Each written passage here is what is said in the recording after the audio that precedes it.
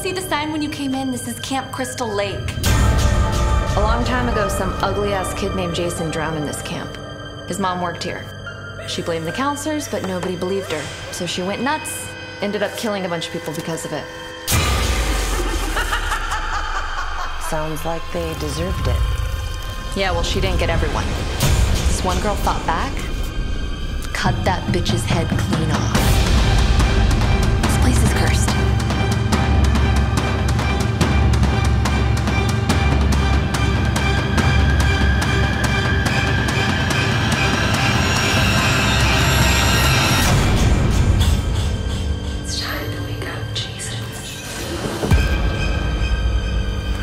Shouldn't have come here.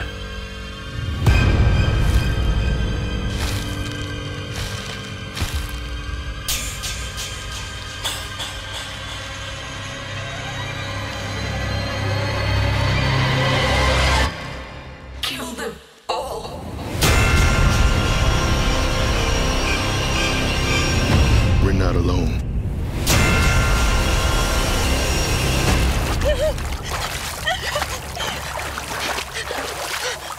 Ah!